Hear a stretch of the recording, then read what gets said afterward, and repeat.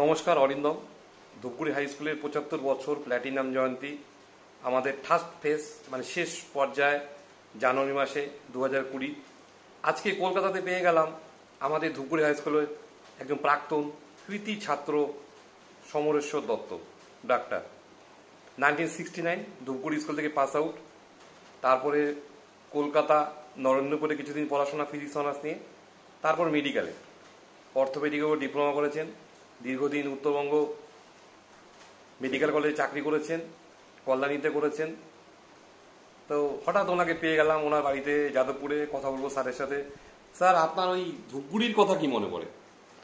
ধূপগুড়িতে তো আমরা খুব ভালোই ছিলাম। ধূপগুড়ি তখন শান্তশিষ্ট একটা পরিবেশ।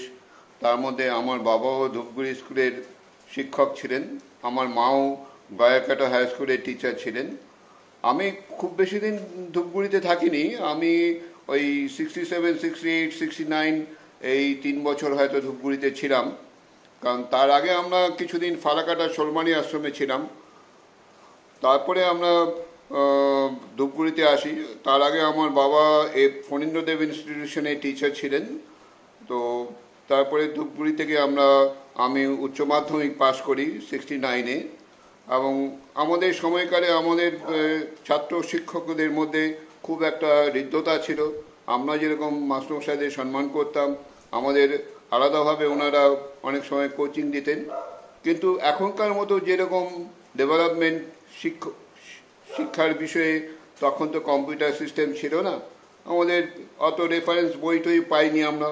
আমাদের সাধ্যমতো শিক্ষকদের সান্নিধ্যে থেকে তাদের গাইডেন্সে আমরা যতটুকু পড়াশুনো করে মোটামুটি একটা রেজাল্ট করতে পেরেছি।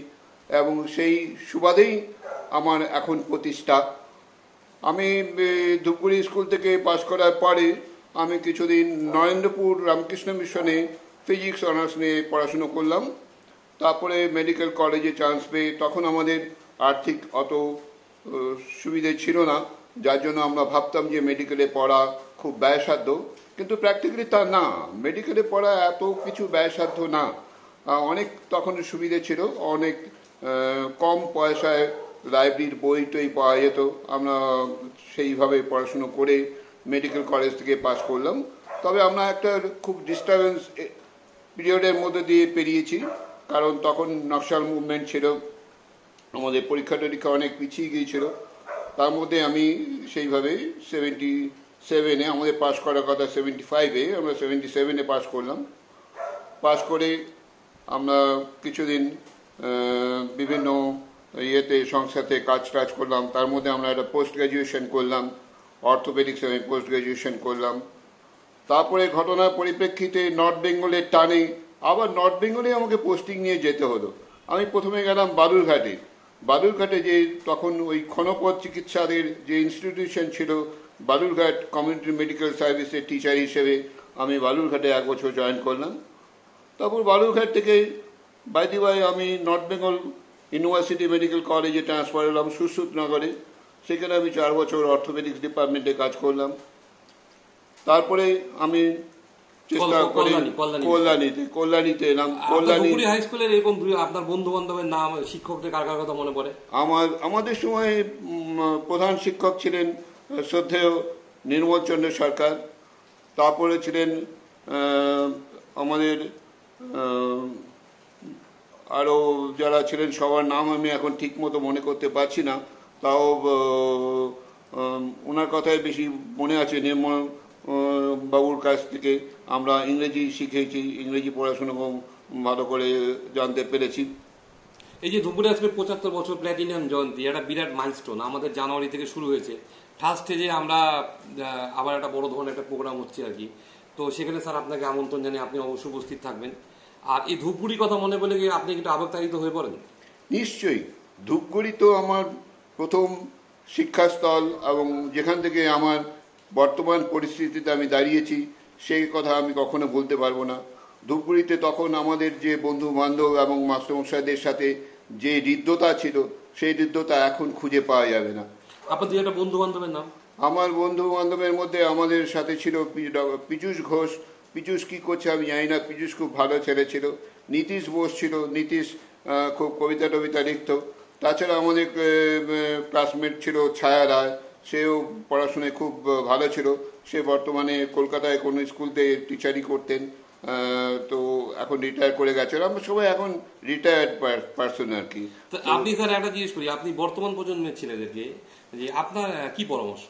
মানে যারা এখন, যারা পড়াশোনা করছে এখন যারা পড়াশুনো করছে তারা অনেক সুবিধে পাচ্ছে। এখন যে এই কম্পিউটার সিস্টেমের মাধ্যমে তারা নিজেরা অনেক কিছু বাড়িতে সার্চ করে নতুন কিছু জানতে পারছে। সেই সুবিধেগুলো তাদের জেনে নিতে হবে। কিন্তু তার সাথে সাথে আমি বলি কি পুরাতন যে সিস্টেম তার সাথে নতুন সিস্টেমের সংযোগ করে নতুনভাবে চিন্তা করে এগিয়ে যেতে হবে। মনে সাহস নিয়ে এবং সুচিন্তার দ্বারা সকলকে সমস্ত সম্মান দিয়ে নতুনভাবে এগিয়ে যেতে হবে। এখন যে একটা সামাজিক অবক্ষয় চলছে, বিভিন্ন ছাত্র, শিক্ষক, সবার মধ্যে একটা বিভেদের সৃষ্টি হচ্ছে, সেগুলিকে পরিত্যাগ করতে হবে। নতুন সৃষ্টি নিয়ে, নতুন ভাবনা নিয়ে এগিয়ে যেতে হবে। এবং সেইভাবে নতুন প্রজন্ম এগিয়ে যাবে সকলের সাথে সকলের দুঃখে সমব্যথী হয়ে এগিয়ে যাবে এটাই আমরা আশা করব। স্যার আপনার আপনার তো একই মাত্র মেয়ে সে যাদবপুরে পড়াশোনা করে পিএইচডি করছে। হ্যাঁ হ্যাঁ হ্যাঁ আপনার মেয়ে তো বাইরে থাকে বিদেশে থাকে। হ্যাঁ হ্যাঁ হ্যাঁ ওনার একই মাত্র মেয়ে বিদেশে থাকে গবেষণা করছে মেলবোর্নে থাকে। আজকে স্যারের বাড়িতে স্যারকে আমরা আমাদের দুই হাজার কুড়ি সালে দুগুলি হাই স্কুলে প্ল্যাটিন স্যারকে আমরা আমন্ত্রণ জানাই স্যার অবশ্যই থাকবেন। আর আমাদের যে প্রস্তাবিত যে আমাদের সেরা পঁচাত্তর যে ধুবুরি হাই স্কুলে হবে, আমরা স্যারের নামও আমাদের মধ্যে থাকল, এটা আমাদের বিচারকরা বিবেচনা করবেন।